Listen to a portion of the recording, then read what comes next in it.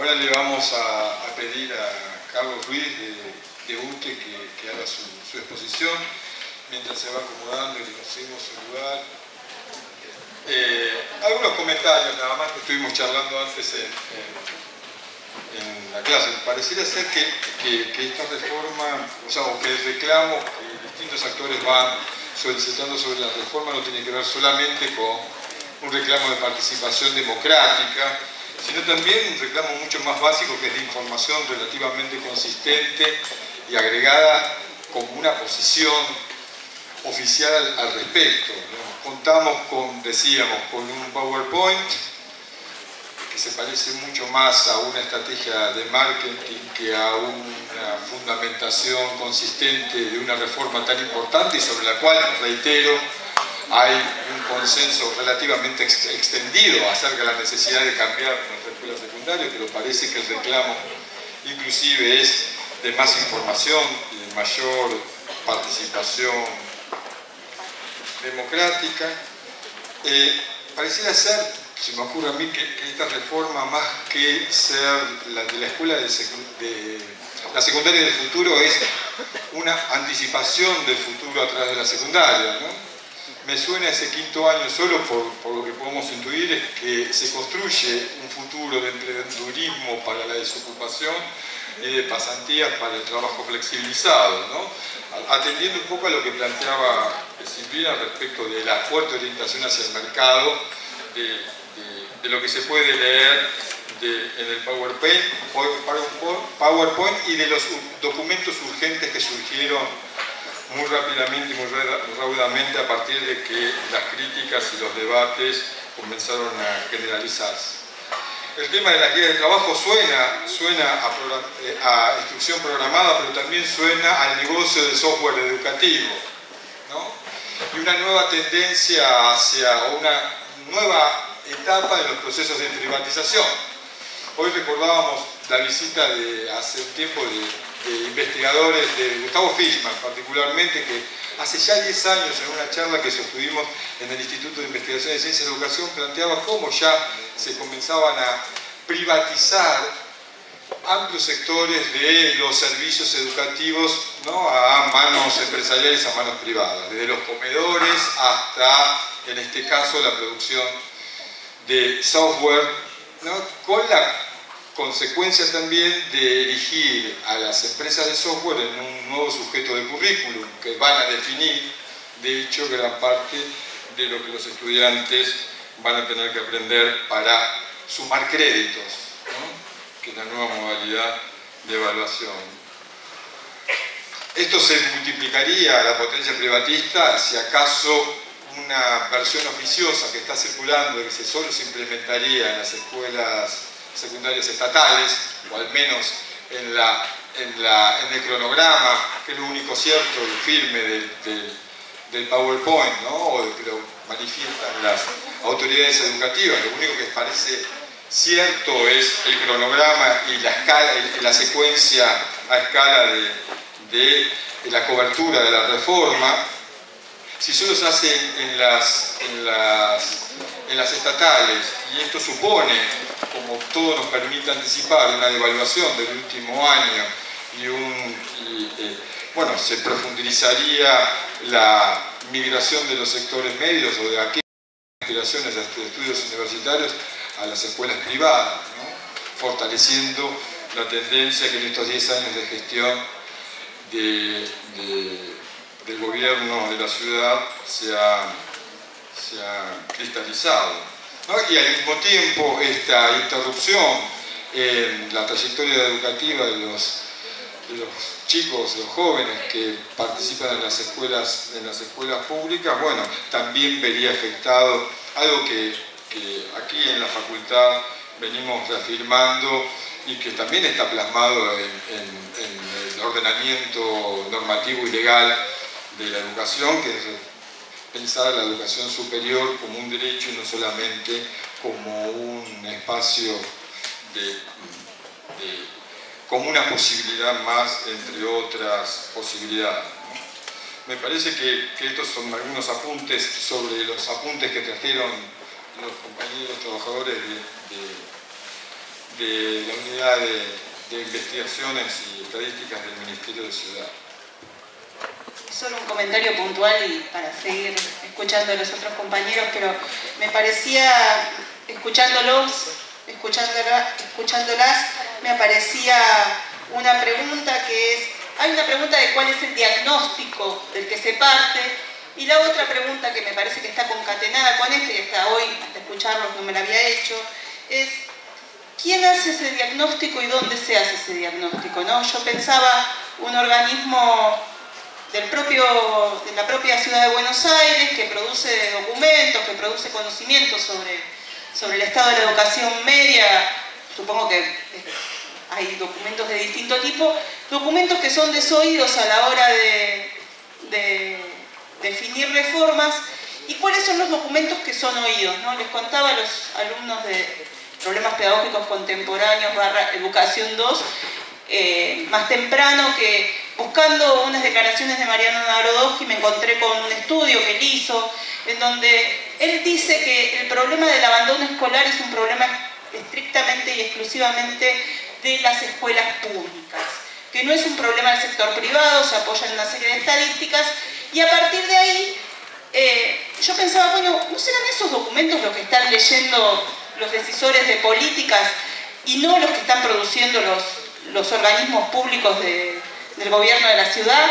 Me, aparecía esto como, como, un interrogante, lo dejo, pero me parece que es importante ver de dónde sale la información sobre la que se construyen las políticas porque con otros documentos como el Plan Maestro, que también fue objeto de debate este año, uno encuentra que esos datos que dan pie a orientaciones de la política no siempre son muy consistentes, no siempre son muy sustentables y que eventualmente hay una construcción ad hoc o una construcción interesada que no se pone sobre la mesa en tanto y en cuanto las fuentes no se citan. ¿no? Antes que nada agradecer a, los compañeros de las cátedras que nos invitaron. Eh, básicamente nosotros planteamos algunos cuestionamientos que tienen que ver con la definición eh, política. Los compañeros del área de, investigación de, la ciudad ubicaron los cuestionamientos de orden técnicos. Eh, este gobierno eh, básicamente impone una, configuración, un modelo de futuro y en ese, en ese esquema de futuro que construye ubica a los eh, estudiantes de distintos, digamos, orígenes sociales en distintos lugares. En primer lugar, los estudiantes que se encuentran en la educación privada no estarían dentro de este régimen, porque es optativo para las escuelas privadas. Y ninguna escuela privada optó por, esta, por este experimento. ¿no? O sea, la mayoría, es más, las escuelas a las que mandan los hijos, los funcionarios que diseñaron esta idea de futuro, son las más tradicionales de, eh, dentro de las escuelas privadas. O sea que a ellos resguardan una educación, digamos, basada en la disciplina y en la profundización del conocimiento, pero ofrecen a una parte del sector que gestiona un formato distinto que implica la reducción de un montón de horas destinadas a la formación y de un montón de horas, digamos, eh, destinadas a la compresión de las áreas eh, curriculares que pasan a estar ubicadas la enseñanza en ese 30% que hablamos. Es un cambio impuesto, es un cambio, un campo, un cambio que, que se hace sobre las bases del no consenso, no hay consenso en los estudiantes que luego van a a presentar cómo les cambia la vida esta escuela. No hay, no hay consenso de, digamos, dirigido hacia el sector docente, básicamente porque este es un gobierno que eh, suspendió todas las instancias de diálogo social, las instancias a las que está obligado por ley, o sea, se apartan de la ley para no trabajar estos temas en el marco de unas paritarias. Las paritarias no es algo, no es una bondad de un gobierno, es el cumplimiento de una ley. El gobierno se aparta de ese cumplimiento de la ley, siempre el neoliberalismo va a escaparle a la ley eh, todos los globos de ensayo que largan como el plan maestro o eh, los resultados de las evaluaciones eh, que, oportunamente esgrimen cuando hay conflicto docentes para, para, oponer eh, la realidad al conflicto. todas esas cuestiones tratan de no cumplir ni con la ley nacional de educación ni con las leyes que regulan el trabajo docente. Eh, en este caso, eh, la suspensión del, diálogo social es lo que los estudiantes están pidiendo. Los estudiantes no le pidieron a la ministra de Educación que haga una conferencia de prensa. Le pidieron que abra a la discusión real una agenda que implica cambios en su vida, en la, en, por lo menos en la mitad del tiempo que, que ocupan en ese lugar. Nosotros creemos que es necesario ampliar el tiempo de estudio más que reducirlo.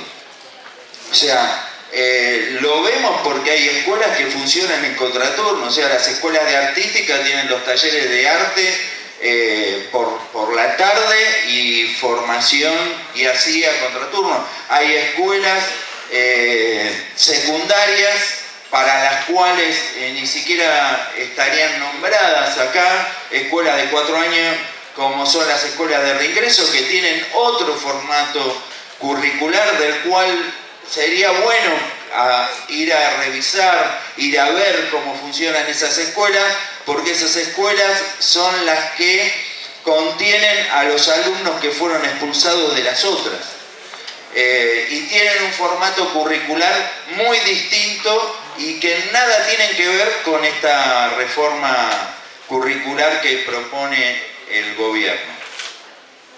Entonces, el primer, el primer eh, elemento de dificultad de la implementación de una estrategia de cambio educativo tiene que ver con la ausencia de consenso y la ausencia de espacios para generar consenso para una eh, transformación, para un cambio, para una innovación dentro de lo que es eh, la escuela secundaria. La historia anterior de todas las reformas señalan que si no hay consenso para los cambios, los cambios al poco tiempo se tornan improductivos y fracasan estas estrategias de imposición de cambios a los tirones o por necesidades de orden político. Nosotros encontramos acá eh, que se rompe la estabilidad dentro de un sistema que discutía políticas, ahora tiene que acomodarse a imposiciones. El gobierno, este, el gobierno de la ciudad de Buenos Aires que instala esta transformación no es nuevo, hace 12 años, ah, perdón, hace 10 años que eh, está en ejercicio. Eh, las transformaciones que hoy niegan son las mismas transformaciones que ellos propusieron y que votaron en el Consejo Federal. Esta reforma no fue votada en el Consejo Federal, en primer lugar porque para realizar cualquier una, un cambio parecido al que se desarrolló en la provincia de Río Negro, que dista mucho de ser esta transformación que quieren imponer, se necesita un aumento del presupuesto de, más del 40%. Como el Ministerio Nacional no, no, no garantizó a los gobernadores esa inversión educativa, los gobernadores dijeron, ah, bueno, no aplicamos. Bueno, eh, apliquen, apliquen a cuentagotas. Eh, estamos en condiciones de ofrecerle para que apliquen en un 10%, como experiencia piloto, como eh, escuelas pioneras, y así fue como en la mayoría de las jurisdicciones este debate todavía no está, pero va a llegar. La discusión respecto o la no discusión respecto de este proyecto y la forma de imponerlo desató la toma de escuelas por parte de los compañeros estudiantes. El rechazo de, de los docentes que hoy se encuentran en el medio de una reforma. La ANES ya generó dificultades. Hay un conjunto de profesores que no eh, sus títulos con los cuales dictaban las clases hasta la implementación de la NES dejaron de tener validez y pasaron a, un, a una bolsa rara que se llama proyectos especiales, donde puede ser cualquier cosa, proyectos especiales. Muchas, mucho de ese traspaso de esos docentes hacia esos lugares dejaron vacantes en las materias que ellos daban que no fueron cubiertas durante todo este año. O sea, los sacaron, pero no hay profesores titulares para dar esas materias, con los títulos que exige la NES. Entonces, bueno, si ya hay dificultades en la implementación de la NES, si la NES ya lleva este cuarto año y todavía no concluye no ha sido evaluada una transformación en curso, pero se instala en forma de marketing una eh, nueva reforma sobre la reforma. Esto nos hace acordar a, nosotros, a los que vivimos en la década de los 90, las, las reformas que rompieron la unidad de el sistema del secundario y la validación nacional de los títulos. O sea, los títulos de la NES van, están convalidados en todas las provincias. Los títulos de este experimento no van a estar convalidados ni siquiera en las escuelas que no formen parte de la muestra.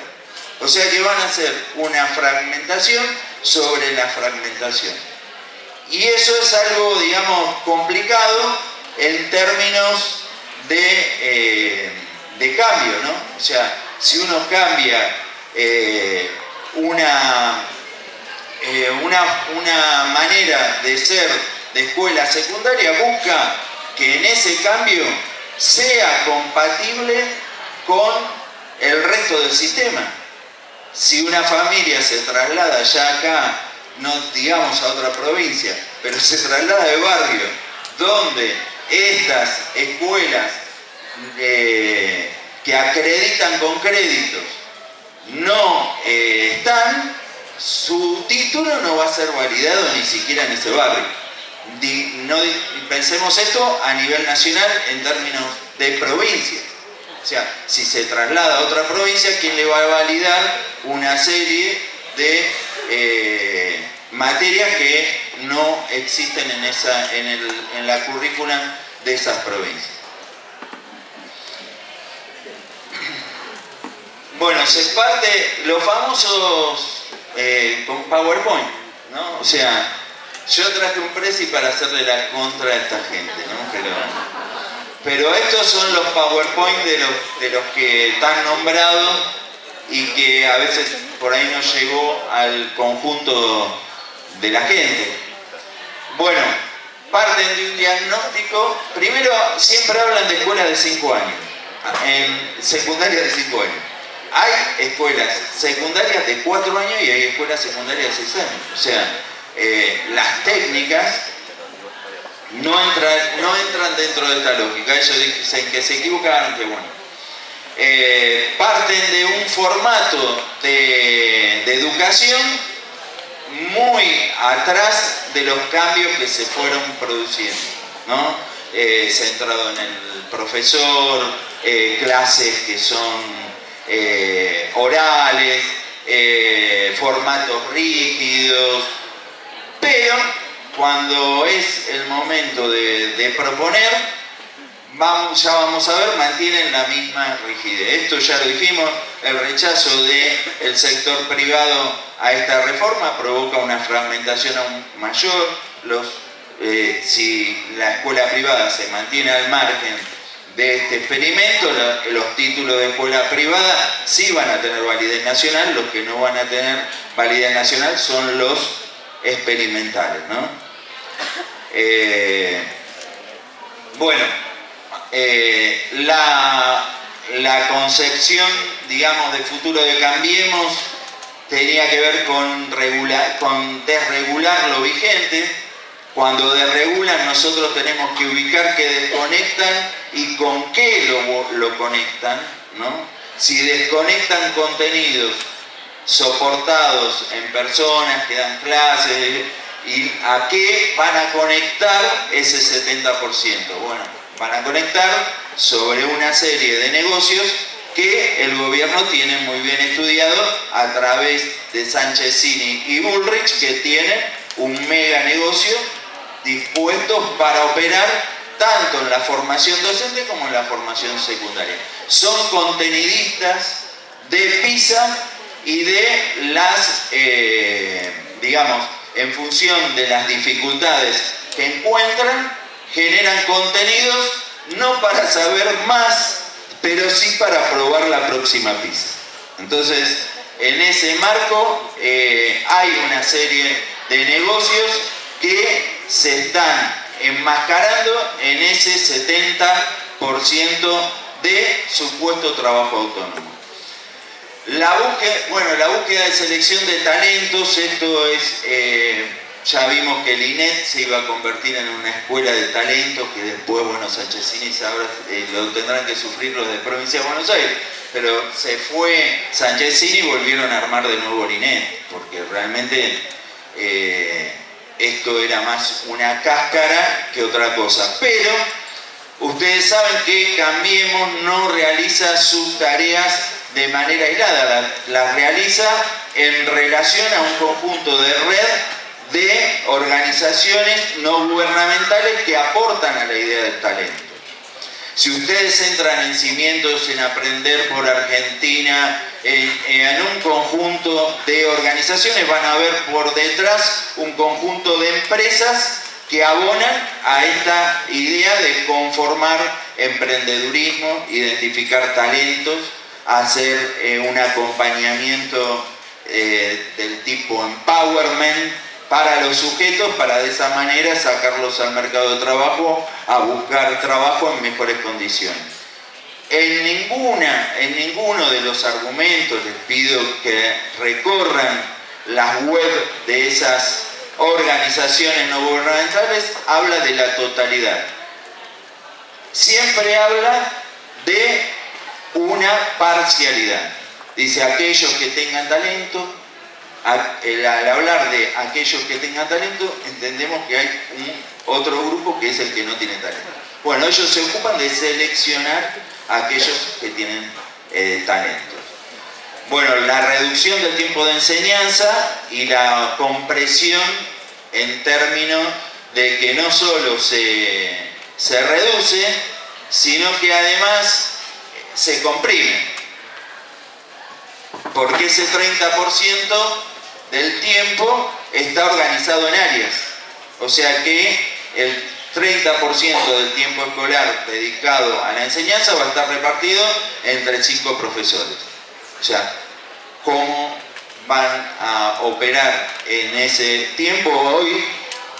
Estábamos pensando hacer un video de cómo sería un director el año que viene en una de esas escuelas diciéndole al conjunto de sus profes que a partir de ahora el 30% va a estar destinado a la enseñanza, que van a tener que enseñar todos en, ese mismo espacio y que van a tener que eh, identificar cuáles van a ser las guías que ellos van a tener que orientar en la, educación.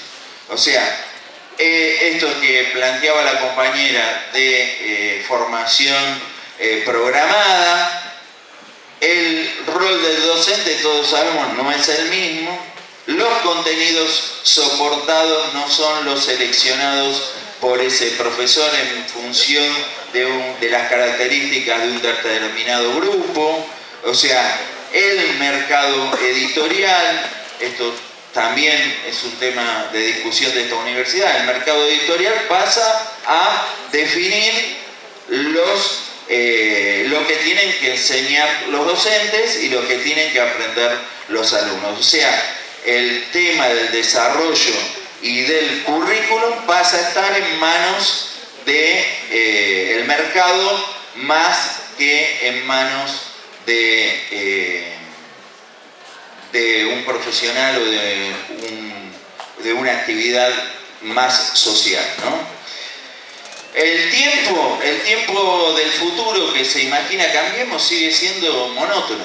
O sea, eh, se sigue pensando la secundaria en años.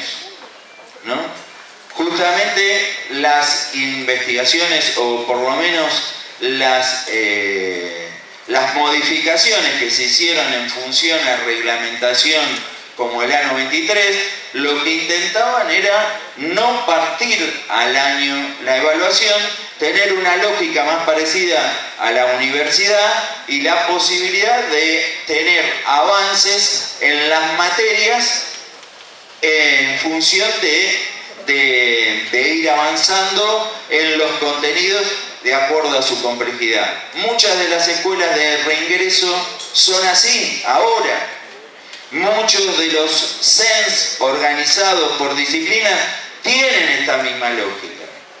No vuelven a, recortar el tiempo de enseñanza y de aprobación de saberes en el año. Bueno, en el futuro de esta, gente que parece ser que está más adelante que nosotros y nos lo quiere explicar, las, eh, las cuestiones que se están desarrollando hoy como innovaciones educativas van a, van a tener que retroceder a la organización en años. Porque a pesar de que se habla de unidad eh, entre primero y segundo año para evitar la repetición, la evaluación se corre al tercer año. Y de ahí es en año en año. Y las, los contenidos también se organiza, el recorrido y las trayectorias se organiza en función a una organización anual. Y el tiempo vuelve a ser cuadriculado. O sea, el formato innovador de, a ver si lo podemos ver bien, el formato innovador es una nueva cuadrícula. O sea, eh, Salvo que hay más gente adentro de la cuadrícula. En vez de haber un profesor por hora, ahora hay cinco profesores en este formato cuadricular que eh, reproduce, digamos, lo más tradicional del sistema. O sea, eh, hay, hay otros formatos en la escuela secundaria, hay eh, las escuelas de regreso, los bachilleratos populares, hay un montón de innovaciones que no son contenidas en esta reforma. El formato que ellos se imaginan y la imaginación les dio solamente para el primer año es este.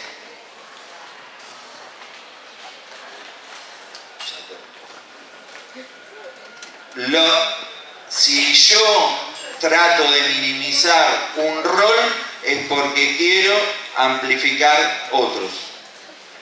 El rol que, se quiere minimizar es el del profesor.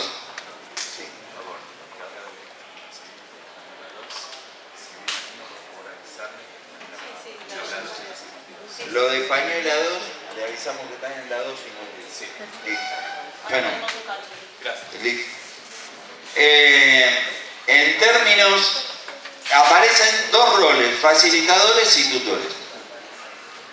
Los tutores tienen destinadas dos filminas del, del gobierno del PRO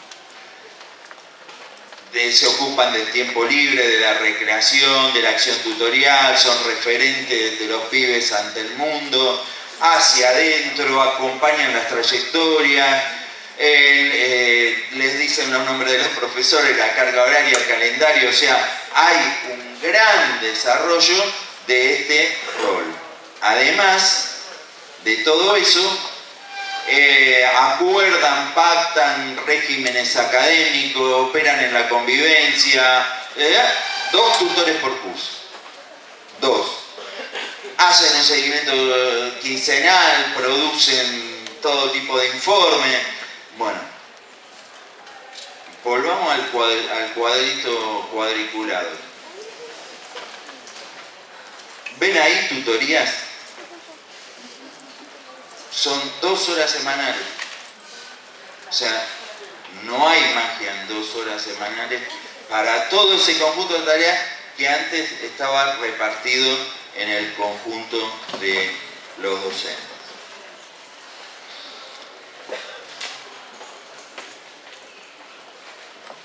Bueno, bueno, acá está el tema de qué pretendemos que aprendan, ¿no? Y está esta discusión entre lo disciplinar o, trabajar por áreas. La verdad que eh, obviamente el trabajo por áreas es más fructífero. Ahora es posible trabajar por áreas sin manejar previamente las disciplinas, o sea, es, es previo lo arial y después lo disciplinar. Bueno, son discusiones que agradezco de estar en esta universidad para que ustedes las puedan, digamos, ubicar como problemática y discutir. Lo cierto es que si trabajamos en forma arial, el formato de organización del tiempo escolar no tendría que ser, digamos, el mismo. Tendría que haber un tiempo mayor destinado a la planificación de lo más complejo. Es más fácil trabajar con un currículum fuertemente clasificado donde no me interroga ninguna otra disciplina. Si yo quiero integrar un currículum y facilitar los intercambios entre las disciplinas en función de los problemas, necesito yo trabajar con otros compañeros para diseñar cómo vamos a hacer esa integración.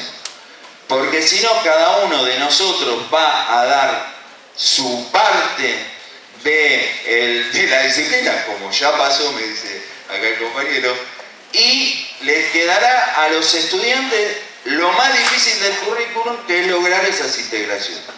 Entonces, eso no lo, resuelve tampoco un, un, game, ¿no? Hay, además de de software, hay eh, juegos, no, no lo resuelve un juego, no lo resuelve, digamos, eh, ninguna de esas, de esas innovaciones.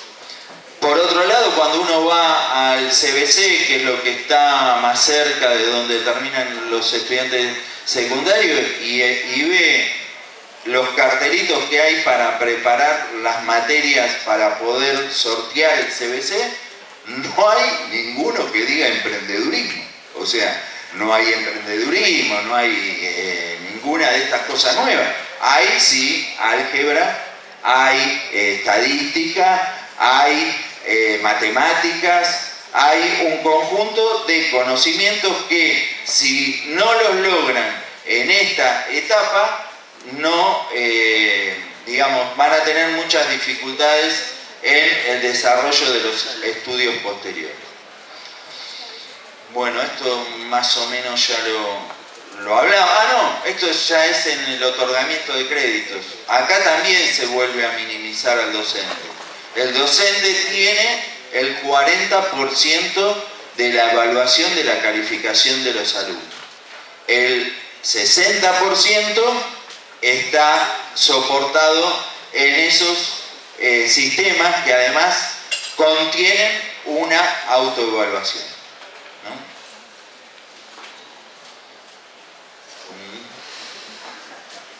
Eh, bueno, la acreditación, eh, bueno, por créditos, esto también demanda los padres, no, que por lo menos los que empezamos a, con, con que empezamos a conversar es ¿y cómo, le, cómo, cómo sé yo que a mi hijo le va bien en la escuela? ¿Qué porcentaje de crédito tengo que pedir?